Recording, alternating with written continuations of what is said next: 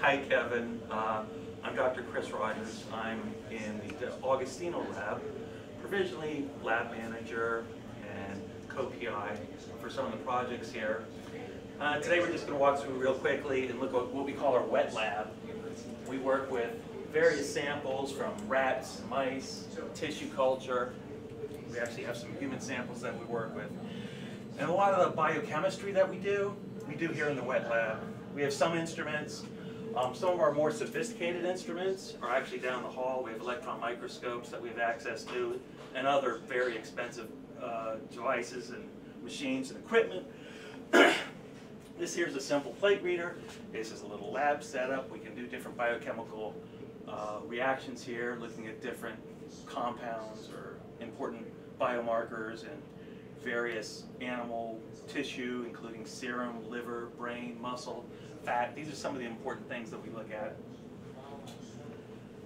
Some of the work that we just do here is processing tissue, putting into slides, fixing the slides, we're getting the slides ready so that we can look at them with different, very specific antibodies that are coupled with either colored agents or fluorescent reacting compounds that allows us to identify different important molecules within the different tissues, understand what's happening when we do these uh, ketogenic diets or ketone esters, some of the various other compounds that we look at that gets the animal essentially into a ketogenic state.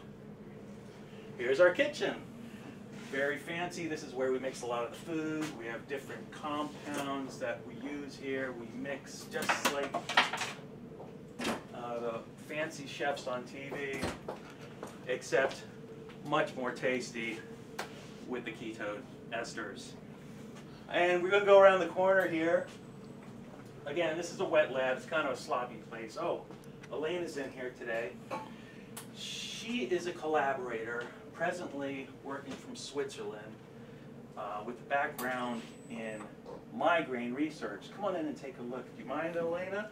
No, sure. Have a look. She's also uh, a graduate of Oxford, and right now, what are you doing, Elena? So in general, I can say that we are looking, we're using cellular, animal, and soon also human studies to examine the efficacy of ketone bodies, exogenous ketogenic substances, in the treatment or prevention of various neurological or metabolic diseases.